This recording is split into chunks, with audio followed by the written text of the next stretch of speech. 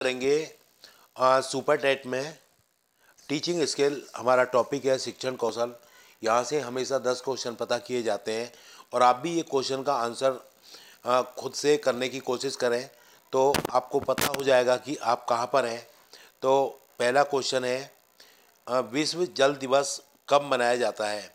तो विश्व जो जल दिवस है वो कब मनाया जाता है? तो इसका जो उत्तर होगा वो होगा 22 मार्च। तो कब मनाया जाता है? वो 22 मार्च में मनाया जाता है। दूसरा क्वेश्चन है, मनुष्य के मूल्यों के विकास में सर्वाधिक महत्वपूर्ण है।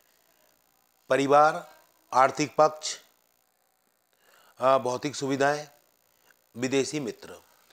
तो इसका जो उत्तर होगा, वो परिवार होगा, क्योंकि मनुष्य के मूल्यों का जो विकास होता है, वो उसका परिवार में ही होता है। तो इसका उत्तर होगा परिवार होगा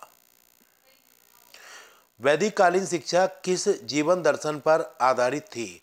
तो जो वैदिक कालीन शिक्षा है तो ये इसका पता कर रहे हैं, ये प्रकृतिवाद पर आदर्शवाद पर, समाजवाद पर या व्यवहारवाद पर। तो इसका जो उत्तर होगा, वो आदर्शवाद होगा। वैदिक कालीन जो शिक्षा है, वो आदर्शवाद पर आधारित है। उसके बाद देखिए मदरसा। मदरसा का संबंध है। जो मदरसा है, इसका संबंध किससे होता है? इसका जो संबंध होता है, वो उच्च शिक्षा से होता है। किससे होता है? उच्च शिक्षा से। जो प्राथमिक शिक्षा है, उसका जो संबंध होता है, वो मकतब से होता है। तो ये उच्च शिक्षा जो प्रदान की जाती है, ये कहाँ पर दी जाती है? ये मदरसों में दी जाती है। वैदिक कालीन शिक्षा का प्रमुख संस्कार था। तो वैदिक कालीन शिक्षा का जो प्रमुख संस्कार है, वो आप अच्छे से जानते हो, वो उपनयन संस्कार है। तो इसका जो उत्तर होगा, उपनयन संस्कार होगा। आप खुद से भी करके देखो और पता करो, ये लगभग पचास क्वेश्चन है। पचास क्वेश्चन में से आप कितने क्वेश्चन कर पाते हैं तो उससे क्या है कि आपका कॉन्फिडेंस बढ़ेगा। उसके बाद देखो वुड का आज्ञा पत्र प्रकाशित कब हुआ था? वुड जो था, उसका आज्ञा पत्र कब प्रकाशित हुआ था? तो अठारह सौ चौवन में हुआ था। कब हुआ था? अठारह में।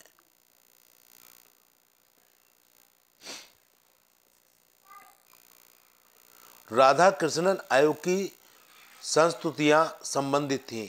जो राधा कृष्णन आयोग है, उनकी जो संस्तुतियाँ हैं, वो किससे संबंधित थी? तो वो उच्च शिक्षा से, माध्यमिक शिक्षा से, प्राथमिक शिक्षा से, तकनीकी शिक्षा से। तो इसका जो उत्तर होगा, वो उच्च शिक्षा होगा। राधा कृष्णन आयोग का आपको पता है, हायर एजुकेशन से संबंधित है। विश्वविद्यालय शिक्षा आयोग के अध्यक्ष थे। जो विश्वविद्यालय शिक्षा आयोग है, इसके अध्यक्ष कौन थे? तो इसका जो उत्तर होगा, वो डॉक्टर एस राधा कृष्णन होगा। अभी यही क्वेश्चन पीछे था कि, ठीक है? तो इसके कौन थे? राधा कृष्णन थे।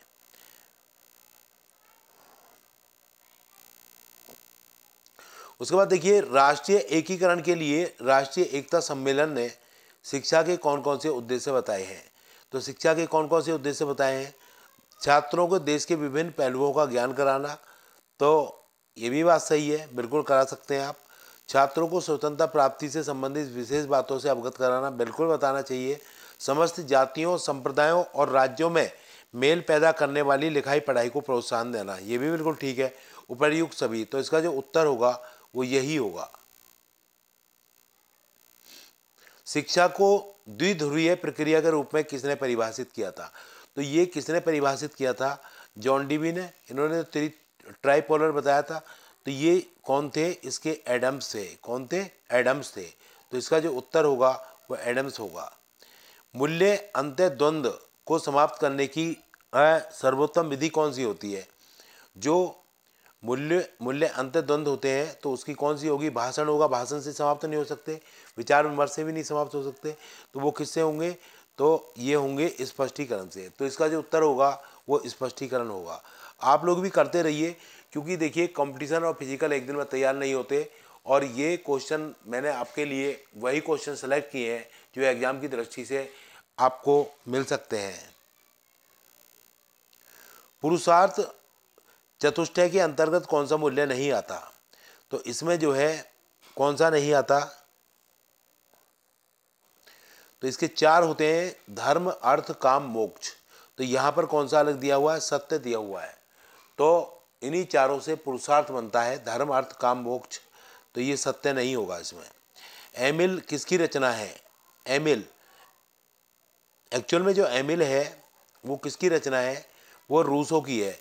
और एमिल ने मतलब ये रूसो ने एमिल की शादी एक सोपी नाम की लड़की से करा दी थी। ये काल्पनिक घटना है तो ये किसकी है? रूसो की है। अगस्त कामटे किस देश के दार्शनिक थे? तो ये जो थे, किस देश के थे? ये फ्रांस के थे। कहाँ के थे? ये फ्रांस के दार्शनिक थे। तो इसका उत्तर फ्रांस होगा। स्कूल और समाज पुस्तक आ, किसने लिखी थी? कि ये स्कूल और समाज जो पुस्तक है ये किसने लिखी? किस आ, किसके द्वारा लिखी गई थी? तो ये जो स्कूल और समाज है ये पुस्तक आ, जो लिखी थी ये डीवी ने लिखी थी। किसने? जॉन डीवी ने लिखी थी। बालक के प्रथम छः वर्ष में माँ के घुटने ही उसका विद्यालय है। ये कथन किसका है? तो ये कथन जो है कमेनियस का है। किसका है? ये कमेनियस का है कि बालक के प्रथम छः वर्ष में माँ के घुटने ही उसका विद्यालय होते हैं। तो ये कहा था कमेनियस ने। स्कूल को प्यार का घर किस शिक्षा शास्त्री ने कहा है? स्कूल को जो प्यार का घर कहा है, वो किस शिक्षा शास्त्री ने कहा है कि जो स्कूल होते हैं, वो प्यार के घर होते हैं। तो ये कहा है पेस्ट्रोलॉजी ने। पेस्ट्रोलॉजी ने इसको कहा गया है उसके बाद देखिए अध्यापक का स्थान पर्दे के पीछे आ, किस वाद ने स्वीकार किया है? अध्यापक जो होता है पर्दे के पीछे काम करने वाला होता है तो किसने स्वीकार किया है? ये प्रकृतिवाद ने किया है। और इसमें छात्र प्राइमरी होता है अध्यापक सेकेंडरी होता है जबकि आदर्शवाद में अध्यापक जो होता है प्राइमरी होता है और छात्र सेकेंडरी होता है। और आदर्शवाद में जो अध्यापक होता है ठीक है तो ये आपसे क्वेश्चन किया गया है, अध्यापक का स्थान पर्दे के पीछे किस बाद ने किया है? तो ये प्रकृतिवाद ने किया है, यही आपका उत्तर होगा। उसके बाद देखो, प्रश्नोत्तर विधि किस दार्शनिक की देन है? प्रश्नोत्तर जो विधि है, ये किस दार्शनिक की देन है? तो इसका जो उत्तर होगा, वो सुकरात होगा। प्रश्नोत्तर विधि किसने दी थी? सुकरात ने दी थी। बौद्धकालीन शिक्षा में प्रवज्जा तो ये थोड़ा गलत लिख गया भैया। प्रवज्जा प्रवज्जा संस्कार कितने वर्ष के बालकों को दिया जाता है? तो ये जो संस्कार है, कितने वर्ष के बालक को दिया जाता है, ये आपको पता होने चाहिए। वैदिक कालीन शिक्षा, बौद्ध कालीन शिक्षा, मुस्लिम कालीन शिक्षा तो इसका जो उत्तर होगा, वो आठ वर्ष होगा।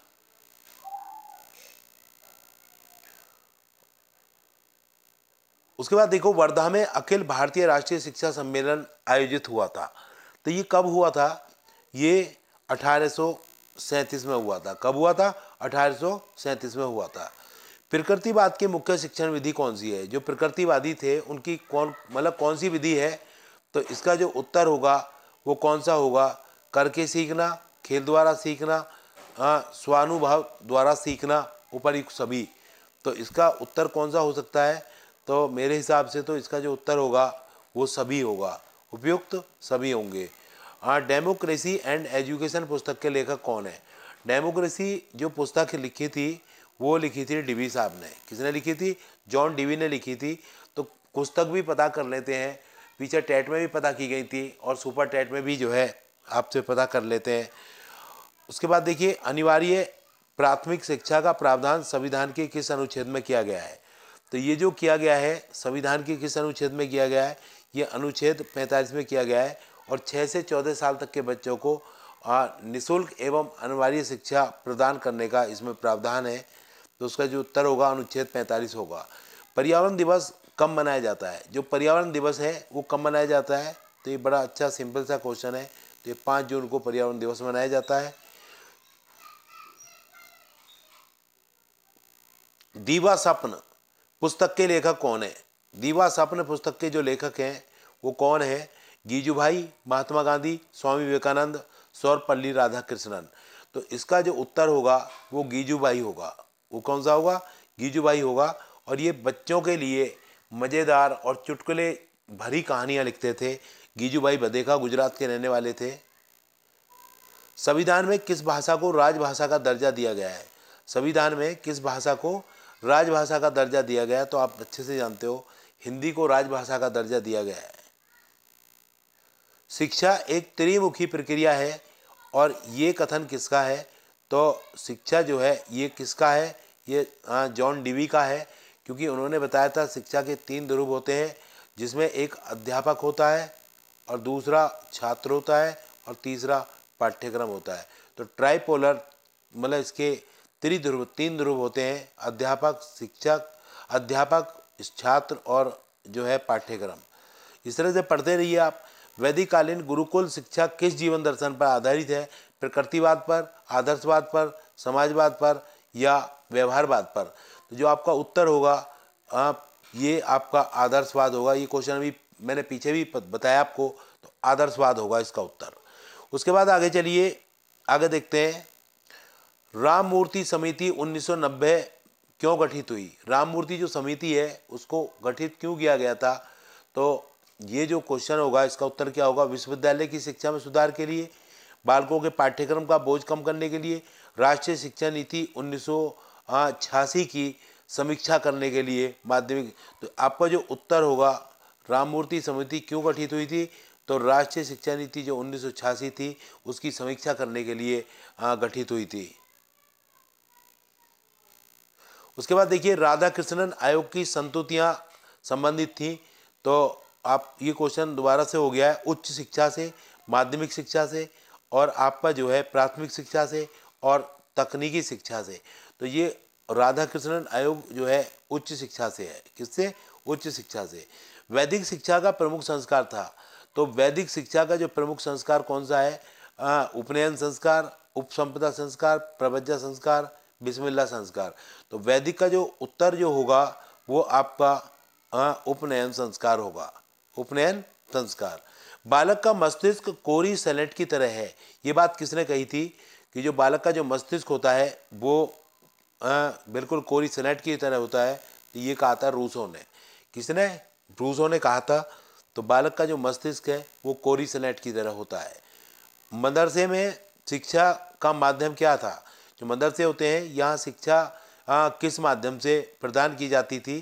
तो आपका जो उत्तर होगा वो फारसी होगा। क्या होगा? फारसी होगा। वैदिक कालीन शिक्षा संबंधित है। जो वैदिक कालीन जो शिक्षा है, वो किससे संबंधित है? रामायण से, वेदों से, कुरान से, बाइबल से। तो इसका जो उत्तर होगा, वो वेदों से होगा। किससे? वेदों से होगा। किंडर गार्टन गार्टन प्रणाली के जन्मदाता कहे जाते हैं। तो ये तो आप क्वेश्चन कई बार अलग अलग टेट में हो या सी टेट में सी टेट में तो नहीं, टेट में, इस तरह की परीक्षाओं में पता किया जाता है। तो किंडर गार्डन जो प्रणाली के जन्मदाता हैं वो कौन है? तो इसका जो उत्तर होगा वो आप अच्छे से जानते हो फ्रोवेल होगा। क्या होगा? फ्रोवेल होगा।